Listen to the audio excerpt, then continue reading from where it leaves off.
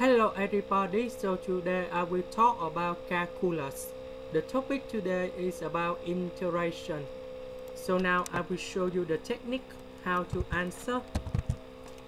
About this one we have 5 square in here. Number 49 we put about 7 square.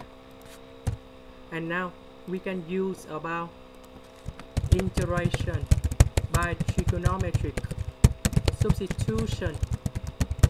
So we put about s equal to 7 over 5 sine t ds equals to 5, 7 over 5 cosine t dt. Next, we put this one go in here. ds we change for this one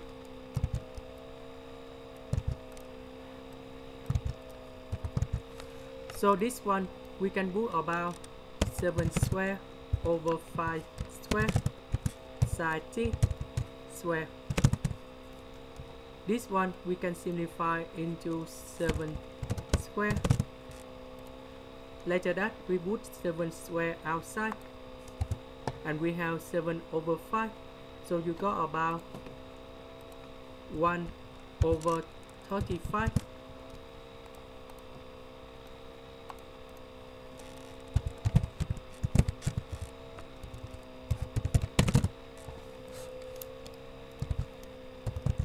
1 minus sine t square. We can put about cosine t square. Cosine t divide cosine t we got about 1 over cosine t dt.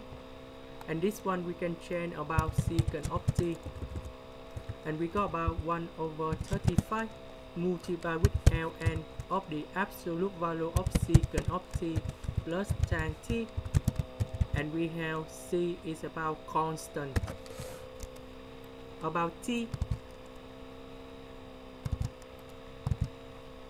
we need to change back for s so we got about t equal to r side. We divide both sides with 7 over 5. We got about 5s over 7. So we put this one go in here.